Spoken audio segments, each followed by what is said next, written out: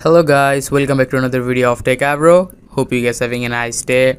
In this video, I'm gonna walk through how can you bookmark in Chrome in Android. So guys, to bookmark any website on Android, at first just go to your Chrome. Now after going to Chrome, just uh, visit any website. I'm visiting uh, this website.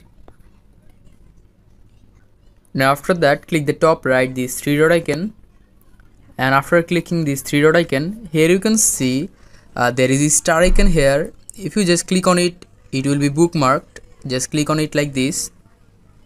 And in the bottom here you can see bookmark saved. If you want to see where it is bookmarked just click the top right three dot icon again. And here you can see this option bookmarks click on it. And here you can see mobile bookmarks click on it. And you will see all of your bookmark list here so guys that's how you can bookmark in Chrome in Android. Hope you find it helpful. If you find it helpful then give a thumbs up and don't forget to subscribe Techavro. Thank you very much for watching the video.